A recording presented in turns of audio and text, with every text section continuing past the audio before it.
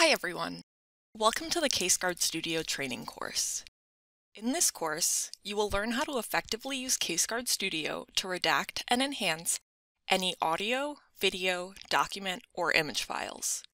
CaseGuard Studio is a Windows application, meaning you can install it on your machine and all the work you do will be handled and stored locally on your computer.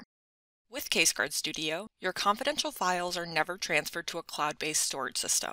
This is extremely useful in terms of compliance, as you can rest assured that no one will be able to access your files without your permission.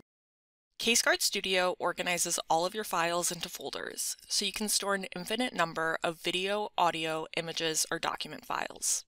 However, it is recommended to create a separate project for each case or request you are working on, as it's easier to come back to a request if it is stored individually under a specific project. I hope this course will give you a good start on how to use CaseGuard smoothly and effectively.